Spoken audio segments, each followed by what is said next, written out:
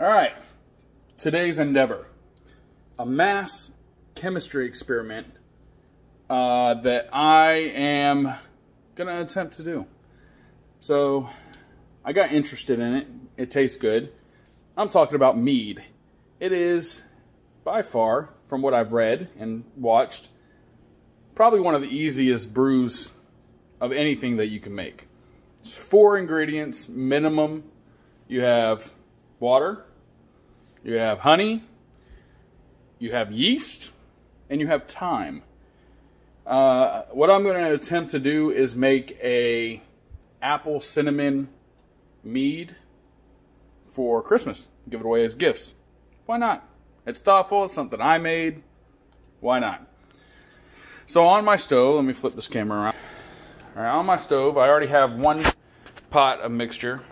Um, it is about a half a gallon of water, and I put about three pounds of honey, two and a half really, um, into the mixture. I didn't boil the water. I got it up to, to about warm, poured the honey in, and I'm mixed it in to where it'll dissolve. And there's a term for this mixture. I just can't remember what it is. So I have a second pot over here that's ready to uh, that's ready to have the honey poured in. So we're to pour it in. Yeah, baby. Look at all that yummy goodness. Honey is exceptionally healthy for you. Uh, if you eat it from a local source, it actually helps with your local allergies. Uh, it is a natural antibiotic. It never gets old. I read an article where they found honey in an Egyptian tomb and they reconstituted it by doing exactly what I'm doing now. Uh, of course, it was crystallized, but they put it in hot water and made it into back to back into honey, and it was still good.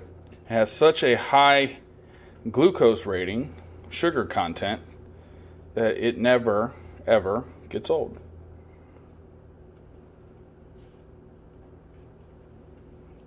Good to the last drop.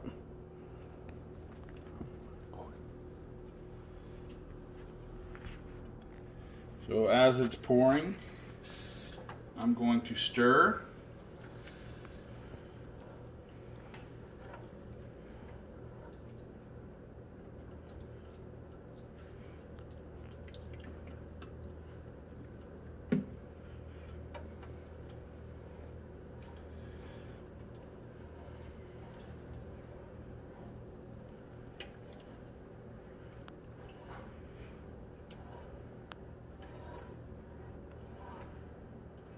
Mm, takes time.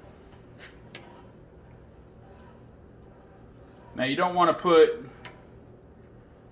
this hot mixture into the glass carboy that's right over here. So my two gallon jugs, they're called carboys. A, potential to crack the glass. B, we want to let the heat come off. That way when we add our yeast into it, it doesn't kill the yeast because the yeast is what's going to ferment the honey to make the mead.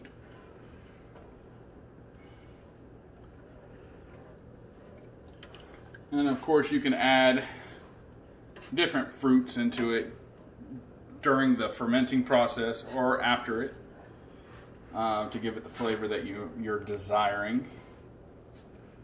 So we have, I'm not going to add the apples in, in during the fermenting process, but we do have apples I don't think I'm going to go with Granny Smith apples, though. I don't want a sour mixture. Um, I'm pretty sure that I'm going to try a yellow crisp apple. Um, very sweet flavored to me. It's my, by far my favorite apple. And I'm going to get a couple cinnamon sticks and throw in there as well. No, we're not making a caramelized mead. That's my son. He's my cameraman. I'm not. by the way, if the government ever finds out, my son is not involved in the process of making alcoholic beverages. Disclaimer. Nor is he drinking any. Also, disclaimer. I'm not. I'm kidding. I'm not. I think it's important to have a couple different hobbies, keep you busy. Woodworking. As they say, idle making. hands are the devil's playground. I don't like to have idle hands, so this is what I do. This is why it's hot. This is why it's hot. I'm hot because you're not.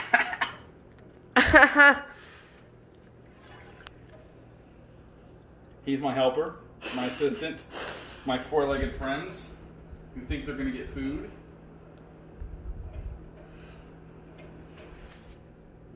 no, Messi, you're so pretty. You're so pretty, Messi. Yes, yes, you are. Oh, yes, you're pretty too, Sambear. Yeah. And you're ugly. Well, beauty is in the eye of the beholder, and you're blind, so. I'm not blind, although I did forget to put in my contacts today. No big deal. Mmm. Honey water. Tastes amazing.